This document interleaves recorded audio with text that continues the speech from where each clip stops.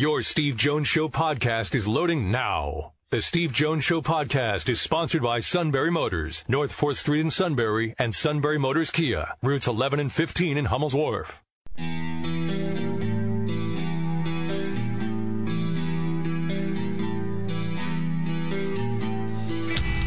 Sports talk where your voice counts. This is the Steve Jones Show on News Radio 1070 WKOK. Now, from the Sunbury Motors Studio, here's Steve Jones.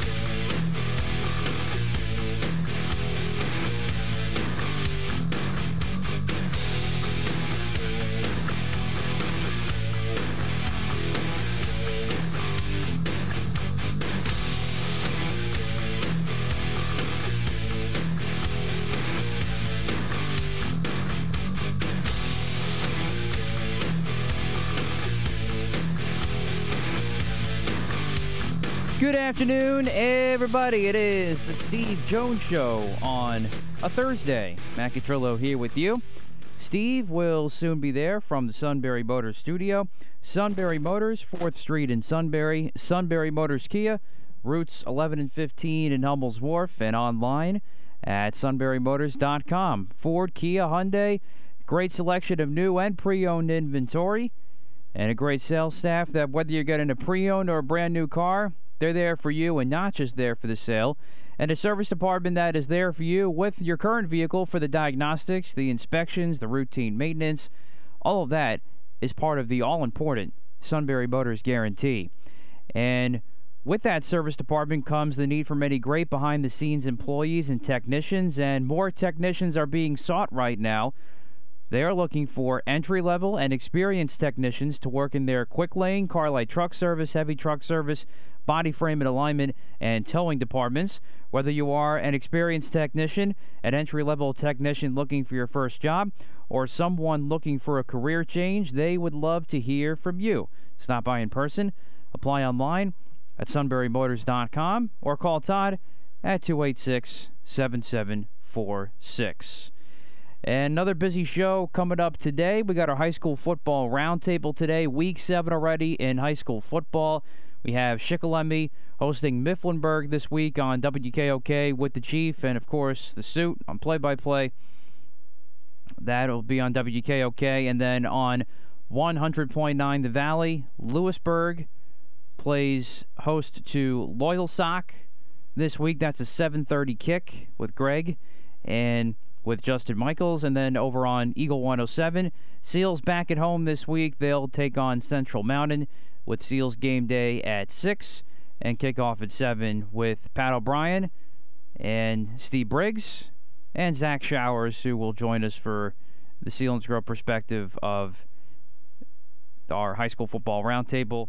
Greg and Dave Ritchie coming up in studio in just a little bit. Zach will join us on the phone, so look forward to that at 3:35 today.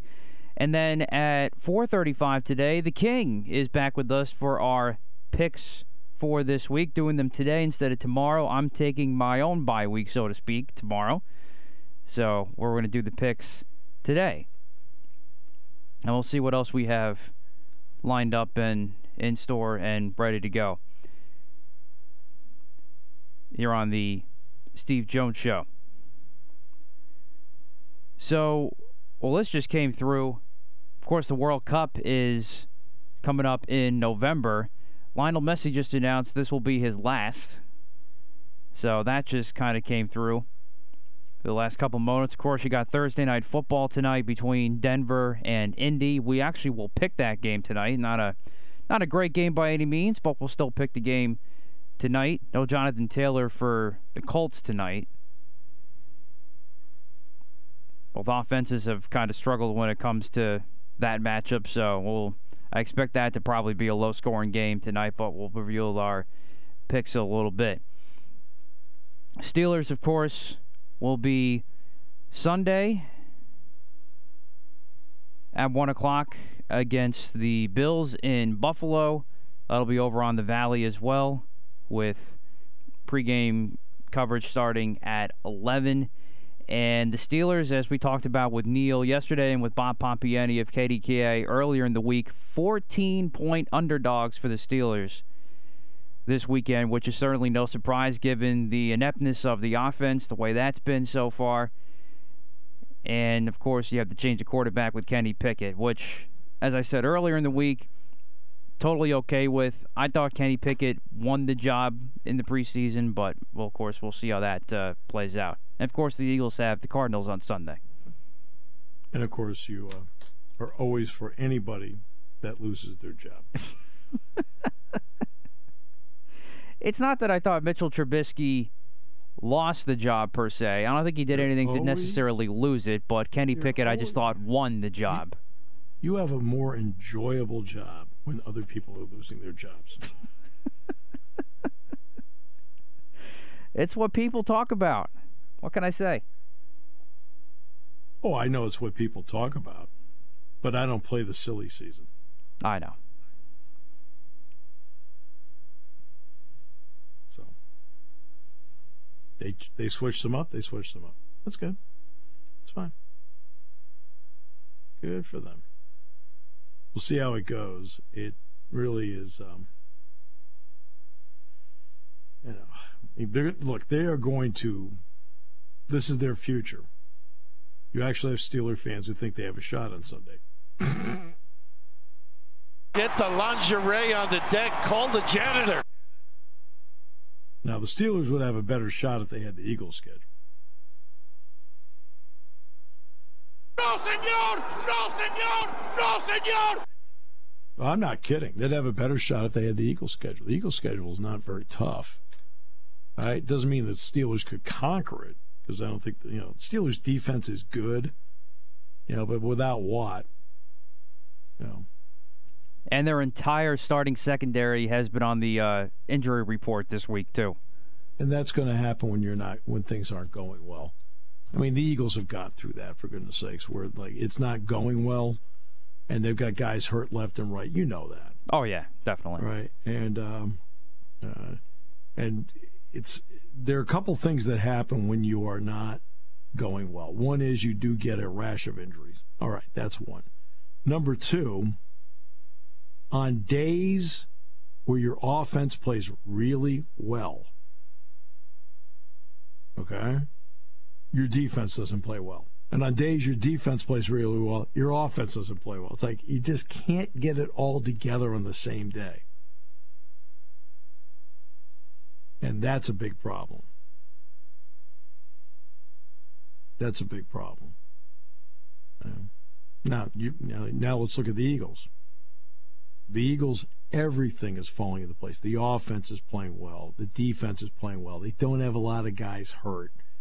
Now, they're they're a really good team.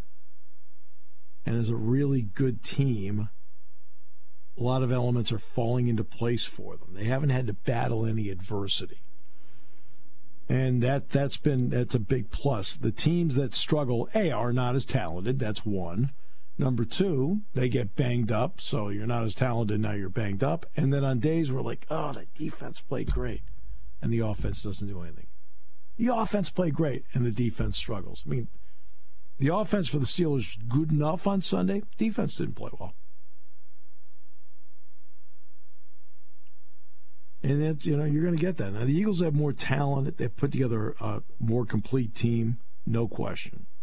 It's really helped um, that Jalen Hurts has just gotten better and better and better. Now they've got all these draft picks, including a potential top five pick, and they don't have to draft a quarterback. That's huge. That is huge. Um, but their running backs healthy, their quarterbacks healthy, their wideouts are healthy, their offensive line is healthy. I mean, last year, look at all the issues they had on the offensive line with guys. Lane Johnson missed, missed how much time last year, for example. And the uh, and now defensively healthy. And the defense is playing well, the offense is playing well, and right now the Eagles are playing as well as anybody in the NFL without question.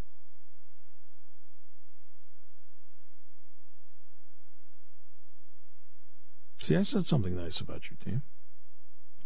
Yeah, absolutely. Yeah. And the difference between me saying it and you saying it is that I'm realistic. Oh, my almighty! I have no dog in the hunt.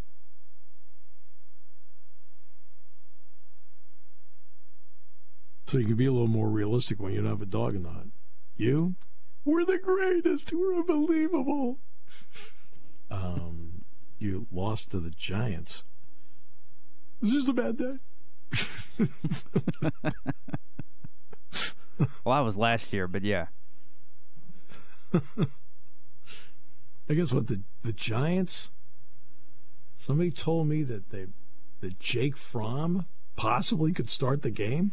Like, oh, Yeah, it's possible because you had Daniel Jones and I know and and Tyrod Taylor get hurt in the game last week. brutal. Yes, uh, that is brutal. But Daniel Jones, I saw our friend Kim Jones tweet yesterday, who was at Giants practice, that Daniel Jones was mobile, but I don't know what he d- what he's done the rest of the week. So yes, Well, there is a technically, the chance. technically the suit's mobile. I mean, that's hey, come on. F O U L E D, that spells found. I mean, s- somehow he gets to the car and back, so technically he's mobile. I mean, come on. and oh, by the way, Jake Fromm gets to face the Green Bay Packers defense if he does start in London. Yeah. Jeez. Ah. Giants did sign Landon Collins, by the way. Yes. And um, now he will not play in the game Sunday, from what I understand. But that that is he played well for the Giants. I always liked I always liked how he played. uh Then he went to Washington. And it's like I don't know.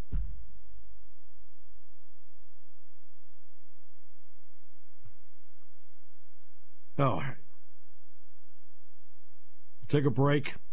Come back with more in a moment. We have a lot going on today. We've we got the King today. Tony Knopp's on the show tomorrow. Looking forward to that. And uh, we have the roundtable today. It's week seven of the high school football season. And unfortunately, now the weather's going to be good tomorrow, but it's not going to be as warm as today. I got out and actually played six holes of golf today. Yeah.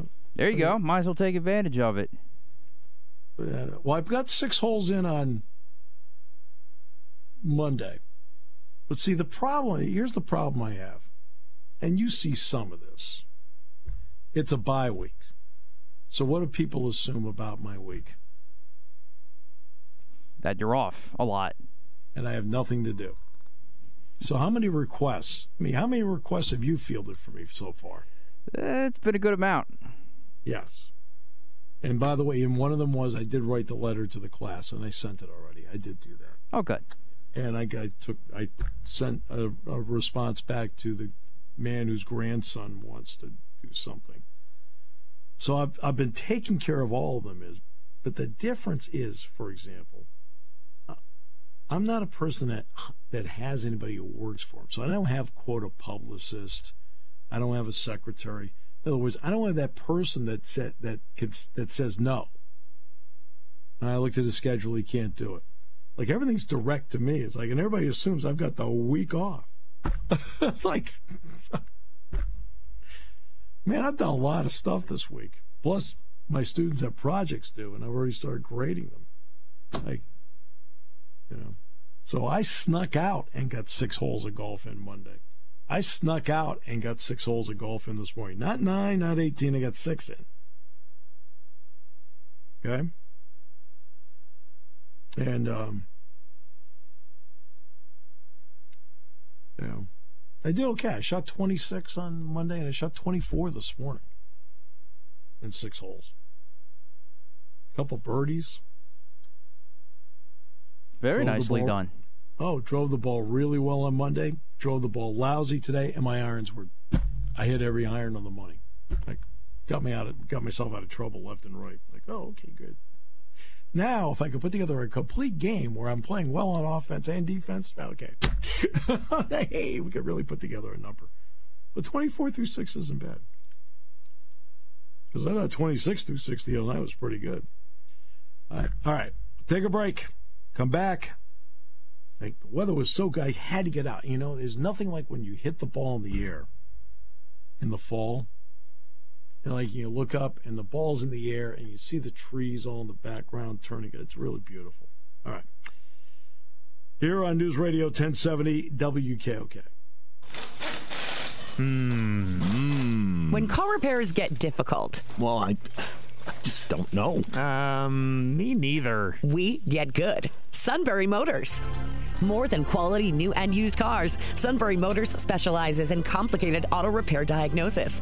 They can handle intricate repairs and even complete auto body with service open Monday through Friday, 7 till 4. And Sunbury Motors has made simple repairs easy. Maintaining your vehicle is necessary. Finding the time to do it is difficult. Welcome to Sunbury Motors Quick Lane. Open 7 till 4 Monday through Friday. Just walk in or call ahead. Relax in their remodeled waiting room with Wi-Fi, beverages, and snacks. While Sunbury Motors factory trained techs take care of your oil change, tire alignments, brakes, and inspections. Quick Lane 6:30 to 6 Monday through Friday, Saturday 6:30 till 2. Sunbury Motors Ford and Hyundai, North 4th Street, Sunbury, and Sunbury Motors Kia, routes 11 and 15 in Hummel's Wharf. We take the hmm. out of auto repair.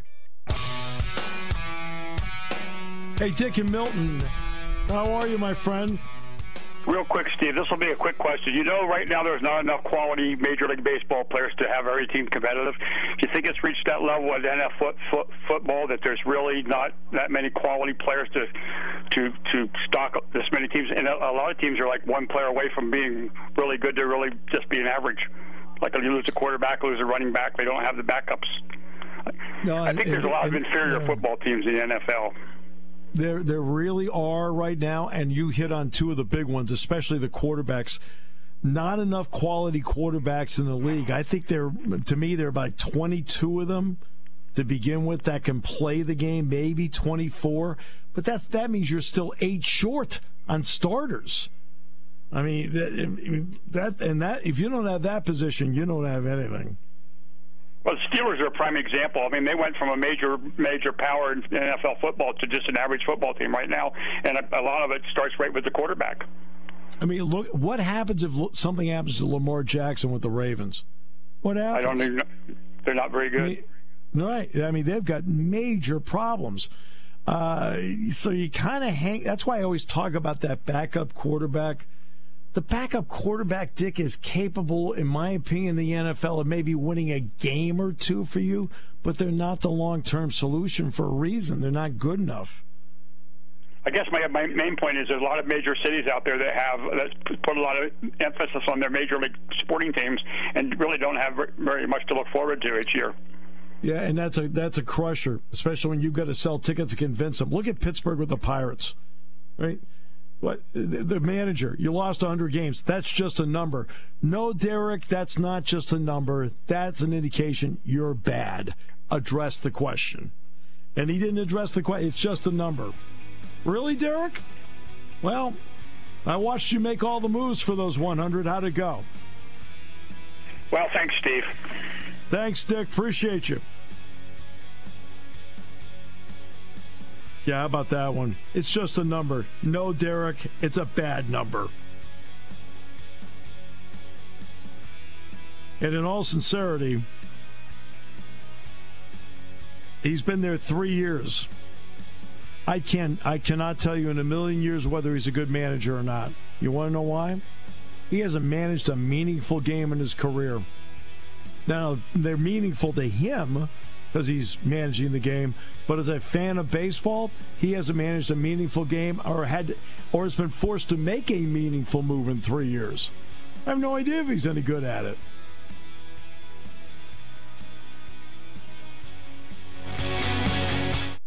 Taking your calls at 800 795 9565. This is The Steve Jones Show on News Radio 1070 WKOK. Now, from the Sunbury Motor Studio, here's Steve Jones. A record this year for the most 100 lost teams in the season. It is the third. is the four 100 lost teams this year. Shohei Ohtani also did something that's never happened in Major League Baseball. His stats qualified him as a hitter and also as a pitcher this year. It's never happened that one guy's done that. Uh, and Mike Trout hit 40 home runs in 119 games. It took 119 games for Judge to finally get to 62 from 61, didn't it? No, it felt like it. No? No, senor! No, senor! No, senor! But you realize Trout hit 40 home runs in 119 games. That's unreal.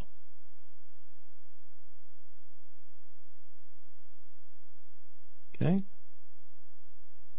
There are only these are the only players to hit 40 home runs or more in fewer than 120 games. And your guy's not on it, by the way. Hank Aaron, who had 40 and 73, the great Hank Aaron. Ken Griffey Jr. at 40 in 1994, strike season. Matt Williams at 43 and 94, strike season. J.D. Martinez at 45 in 2017. Nelson Cruz at 41 in 2019, and Trout did it this year. And by the way, the kid for the Twins, right? Judge didn't even come close to beating him in batting average. You know that, don't you? Oh, I'm aware. Yeah. I mean, he actually went out in the last game of the season. He actually played, and he got a couple more hits. He ended up at 317. So he won it by six points. Good for him. I mean, well, your guy was mentally fatigued, and you know he had to sit out an extra day. That way, he's set up for a three for sixteen playoff, an early exit. You're done. What'd you think about? I know we got to get to the high school roundtable here. What'd you think about Manfred? A, he didn't go to the games. But did you see what he said about the record? I didn't see this. No, I'm afraid to it's ask. Up, it's up to the fans as to what they think the record is. Get the lingerie on the deck. Call the janitor. Like, come on, Rob. It just keeps falling down the stairs. That's all I have to say about that. Like, it's like, what are you doing? All right, Zach, we'll start with you. Zach Showers. We'll start with Selinsgrove. What level of football are they playing, my man? Uh, frustrating one right now, if I'm being honest. um, last week was just uh, one of those games where you felt like Selinsgrove had every opportunity and just couldn't take advantage of anything. Um, ended up losing to Mifflinburg 19 nothing. Um, that's no disrespect to Mifflinburg. That's a, a tough team with a lot of good athletes, but really a lot of uh, a lot of missed opportunities. They had were able to get an interception on the first drive against Mifflinburg and took the ball the whole way down to the 29 yard line and a false start penalty and a couple negative plays and punted it. And then um, the second drive fumbled at the seven yard line. The first drive of the second half fumbled at the uh, inside the 20 again at the 15 and then um, gave up a pick six late. So a lot of uh, I don't know, just a, a lot of struggles, um, some miscommunication on defense, and really the offense just uh, kind of took a step back last week, honestly. How surprised were you by all this? Uh, we we were very surprised. Um, it, you know, it, it felt like there was some positive momentum uh, moving forward. The the line was looking a little better, and you had some guys back. Um, but yeah, it was uh, the the game plan was there, but um, you know maybe some of it's not quite as bad as what we think. Anytime you turn the ball over three times and the other team gets 19 points off of those turnovers, um, that's gonna that's gonna be the story of the game, re, um, regardless of really what else happens. So, what about this week? I mean, now, does this week become more of a mystery because of what happened last week? Um, I, I think a little bit. I, I really think that the start of this game, the first half, is going to be very telling. Um, Selinsgrove has actually been a team that has really struggled in the first half.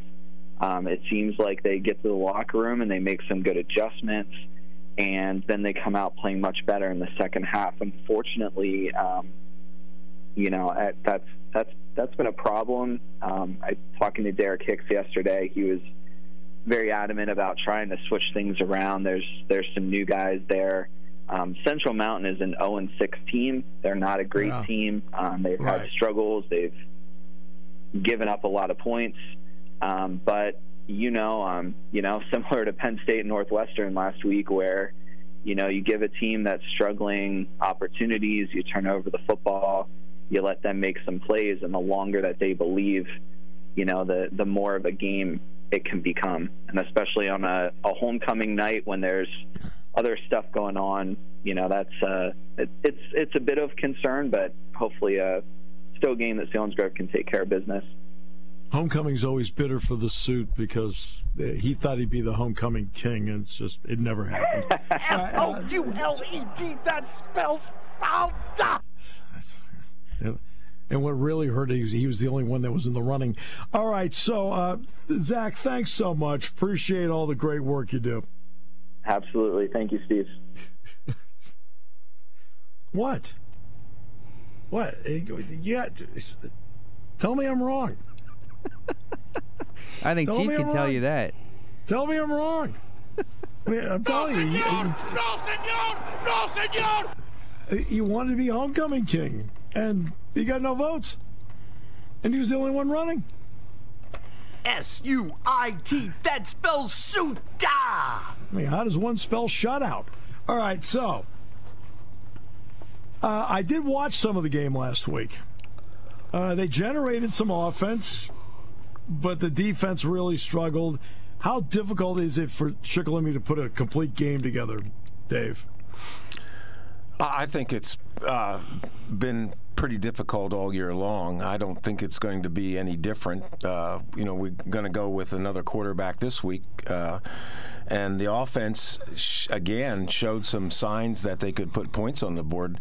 And the defense showed that at times they could. Uh, could you know uh, do a good job of holding Shamokin on the first, second, or third downs, but Shamokin always got a big play to uh, to uh, take care of that situation. Uh, it's uh, again, you know, you look at a football game and you watch the way the kids are playing, and you take away a couple of big plays, and and Shikellamy's in the ball game. Uh, but those big plays are, are, are very hurtful, especially when you've got to play catch up football the whole night long.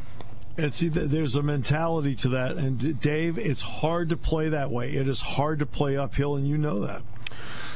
Very much so. Uh, and uh, uh, the, the good news was they've got some more kids dressed, and that, it's not so much about the football game as it is the practice leading up to the game. Because if you don't have enough kids in practice that you can run your drills and also run your offense and defensive schemes, and it, with with a full uh, body of, of people out there, it's hard to uh, it's it, it's hard enough using a scout team trying to to uh, emulate what another team does, let alone if your scout team only has nine kids on it. So it's uh, I think in that respect it's better.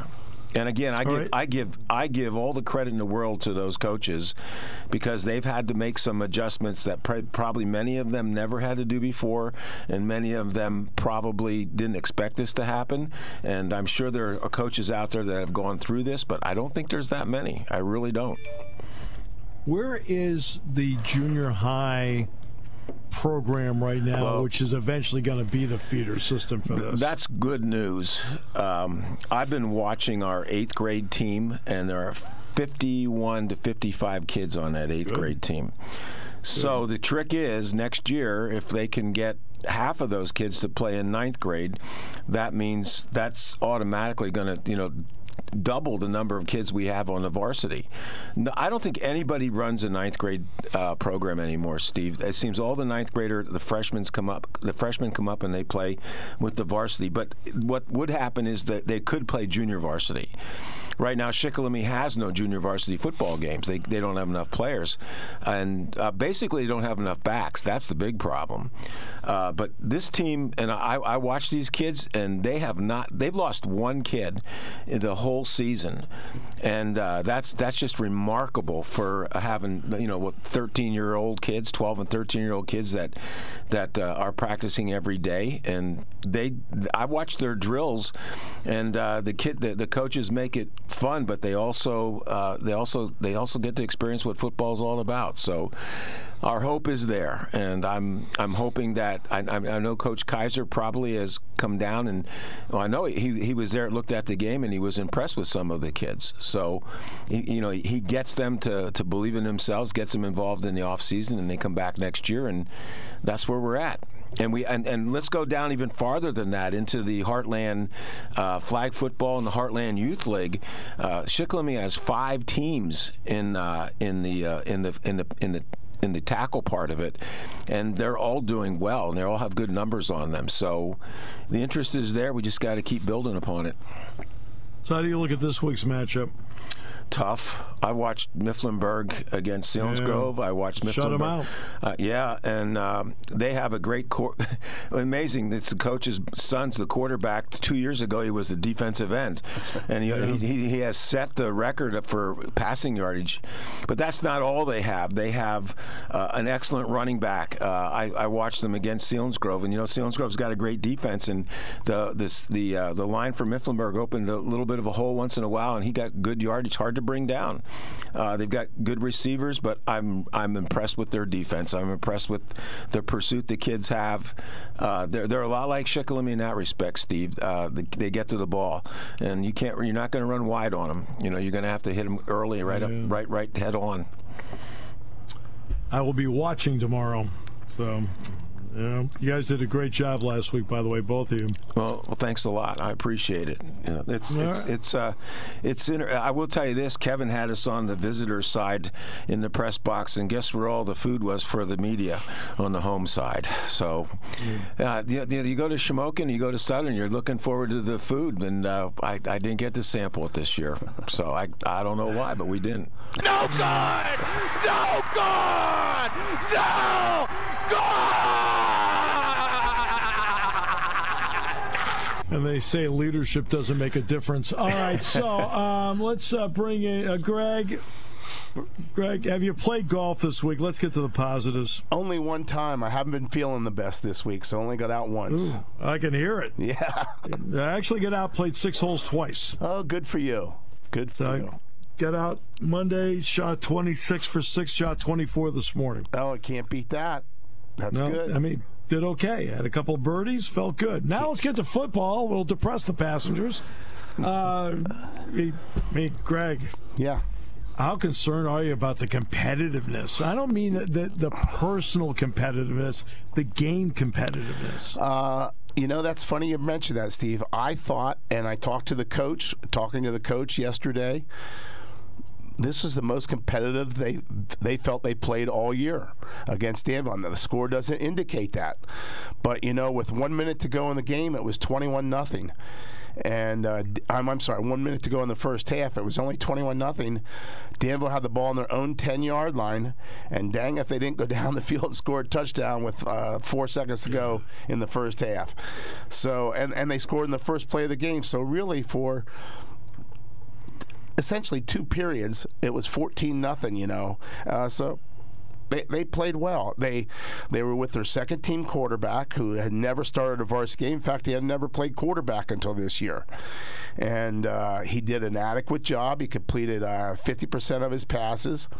Uh, they changed their offense a little. They went to an I formation instead of the RPO offense. They went to an I formation ran the ball better than they've run it all year, and uh, I, I thought and again, the coach thought this too is they competed against a very, very good Danville team. It's. Are, is there a concern about confidence? Uh, always. You know that that's always the case. You know, this week it's no better. They're playing Loyalsock, who lost to Danville by a score of 17 to 14. So, yeah. uh, yeah, I, I, think that's that's part of the issue too because you could see in the second half it was 28 to nothing. Um, Lewisburg had the ball to start the second half. They fumbled. Danville uh, gets it into the end zone for a safety. We kick off the first play. They go like 55 yards for a touchdown on a run. All of a sudden, it's a 37 nothing game. They're in the mercy roll, and you could just see the air kind of went out of them then. But uh, yes, confidence is is always an issue when your team's 0 6 and about to play one of the top 10 ranked uh, teams in the state in Class 3A. And that's that's that's the issue because it, what's interesting about it, and I think the same thing. I'm watching the Shikellamy game the other night, so I'm watching it. Mm-hmm. No, I mean it, the game is not going well at all, but there's no quit in those kids. Right. And I sense with with, with Lewisburg, it's the same thing. There's no quit in those no, kids. No, there's not. They they try hard, and you know, uh, when the mercy rule's in effect, the Danville coach put in his uh, second team unit.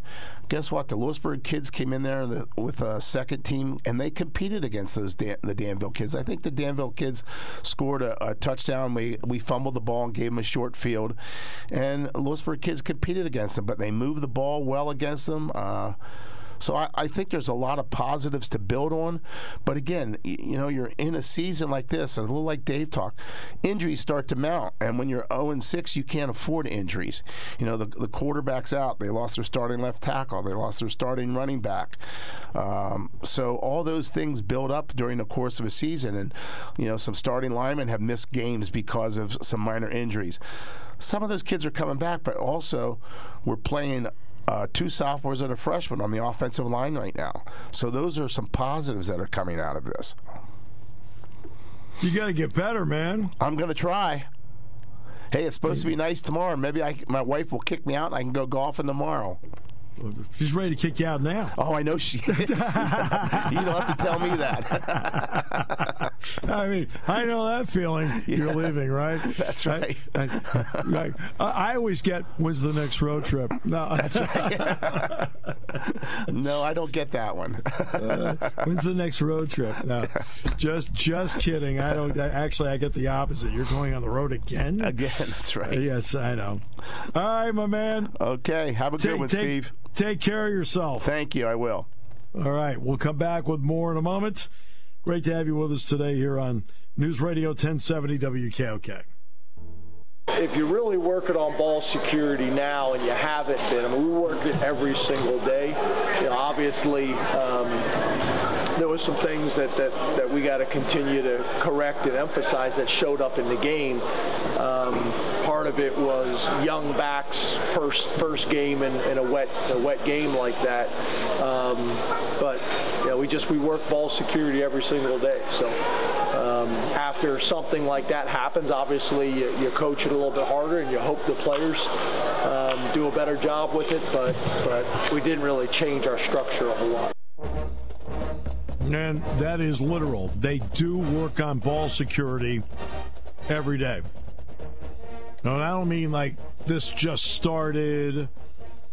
No, no. From day one, since he's been here, they have worked on. It's always in the first few periods of the practice. They work on ball security over and over. And everybody does. Defensive backs work on ball security. Linebackers work on ball security. They all do. Quarterbacks, wideouts.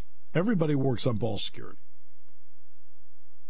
Um, and that's why you haven't been seeing this happen. And then when it does happen in a game, you're like, oh, for goodness sakes, really?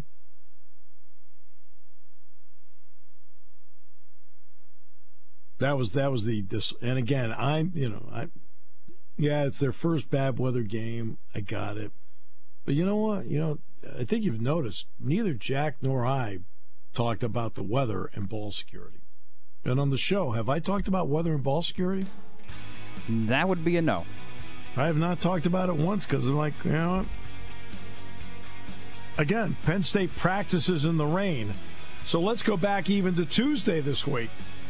Tuesday this week. It's a bye week. Guess what they did on Tuesday? They went back out and practiced in the rain because he practices in the rain for that reason. Doesn't mean, you know, all every period's in the rain. They'll go out two periods here, two periods there, and they'll do it. Because football is played in, in elements. All right, the King in the final half hour, and the King has every right to gloat. He picked Georgia Tech, and we made fun of him. That's right. We did. I mean, we did, and he won.